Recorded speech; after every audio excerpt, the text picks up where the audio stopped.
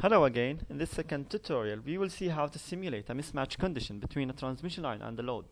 Our transmission line will be a microstrip transmission line, which consists of a strip line, ground, and in between them there will be a substrate semiconductor material. You can design your transmission line using the simulation module. Our transmission line characteristic impedance will be 75 ohm, and the width of the strip will be 1.45 millimeter. The height of the substrate will be 1.6 millimeter, and the epsilon r will be 4.3. We can start our simulation as for the coaxial cable by creating a new project and setting the environment of the simulation. It will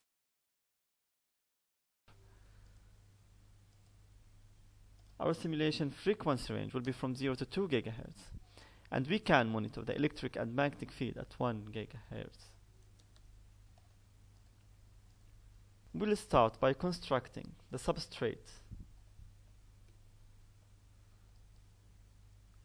we will set dimension using variables which make things much easier for us if we want to modify later the dimensions. The height of the substrate, we will give it a variable named edge height of substrate. We will use the FR4 material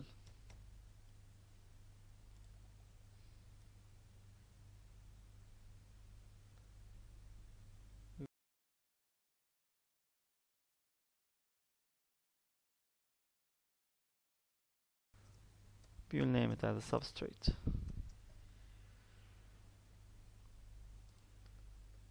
It will be a square substrate with dimension of 70 millimeter.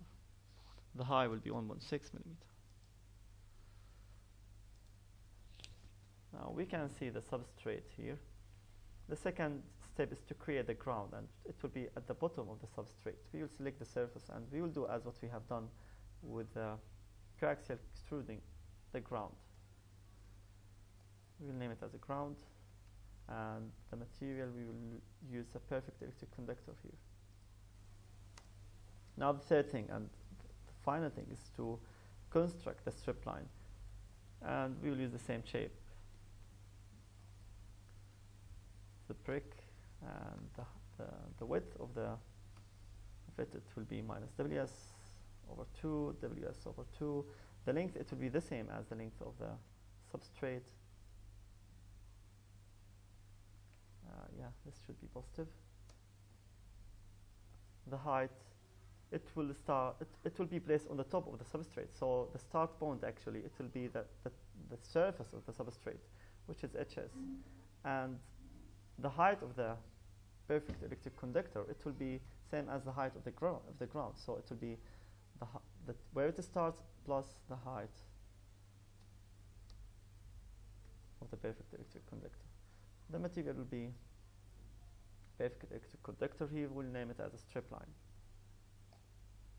Preview uh, what will be the width of the strip line? We can get it from here. It is 1.45 1.45 millimeter. Now we can see a very thin strip line which is quite different from what from what we have done in the lab this is because we are having a microstrip line with a different characteristic impedance than what we have done. This is 75 ohm, the one we have done in the lab is 50 ohm. Now, we need to create a waveguide port, which will be the source of our signal and the one who is going to measure the reflections from the load.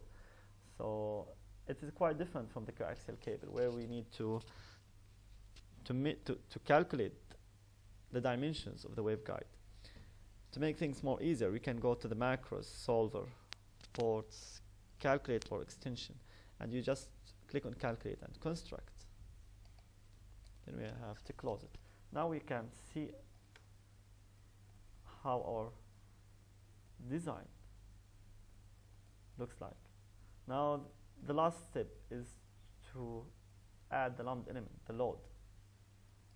The lumped element, you have to select two points from the strip line and the ground then you create your lumped element so we will select two bonds one bond at the micro at the strip line and another bond at the ground. So we will select the line. We can select the strip line here to make it easier to select the strip line. Then we can go to the ground and we select the line of the ground. Now so now I have two points I can go to the lumped elements and just place the lumped element our load will have 100 ohm plus J 125.6 ohm. The 100 ohm is the real part we can just place it as it is while the imaginary part you, you either have to place it in terms of inductor or capacitor. Since we have a positive complex number so it should be an inductor. And if you do the calculation based on the frequency that we are simulating which is 1 gigahertz so it will be 20 nanohenry. So preview and press ok now we are having the, the complete structure for the simulation so we just need to extend the background, the, the y-axis, minimum y-axis. Let's say we will extend it by, we have to extend it by, let's say, 2 millimeter. Apply. Okay. And we can run the simulation now. We can increase the accuracy. Now the simulation is complete, so you can see the S11 parameter. And it's clear that here that we have a lot of reflections as the frequency increase. This is because of the mismatch between the load and the transmission line. So we have around 20% is being reflected at the low frequency and keep increases, increasing as the frequency increases. And it, it reaches around 90% of reflections from the load. We need to fix this one at 1 gigahertz. If we want this transmission line to work at 1 gigahertz, we will have around 60% of reflection from the load, which is not efficient. So to fix this problem, we need to design our own matching network. We will use the open stub matching network and do the design through Smith chart or through the, the simulation module. After setting the parameter at the simulation module, we will have a solution where the stub should be placed at 34 millimeter with a length of 49 millimeter. The second solution, the stub should be placed at 55 millimeter from the load and it should be with a length of 22. So the D1 and D2 tells you where to place the stub from the load. So you will find the first solution is not suitable for our dimensions. So we will have to go to the second solution. The first solution is not suitable because of the length of the stub, which is ex which exceeds the dimensions of the substrate. So we will go with the second solution where the length will be quite shorter. We need to place the stub somewhere on the transmission line and the distance is measured from the load. When you say 55 millimeter, the location D2, that means it's 55 millimeter from the load. So let's create a new brick, and this brick we will name it as a stub. Sorry, here.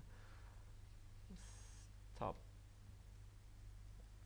The x-axis and the y-axis, each axis will control different parameter of the stub. The y-axis will control the location and the width of the stub. The x-axis will only control the length of the stub as what we see here, the y-axis and the x-axis. We know that the load is placed at minus 35. So to have the length of 55 millimeter, the stub should be centered at 20.5 millimeter and should be centered at 20.5.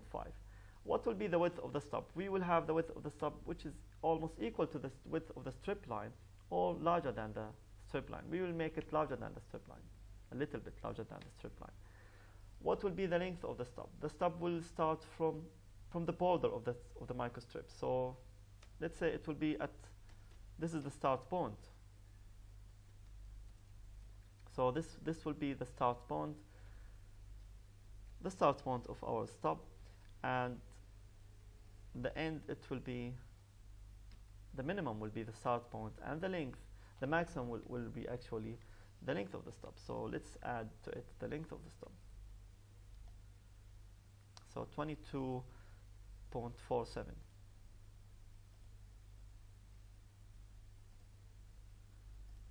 It will be the same, the same as what we have done with the strip line.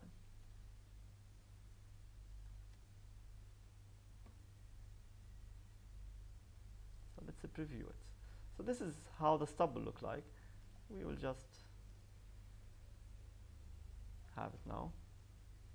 This is a stub we can actually merge between the strip and the stub and we can use the Boolean merge here so now we will have like one structure for that line and that stub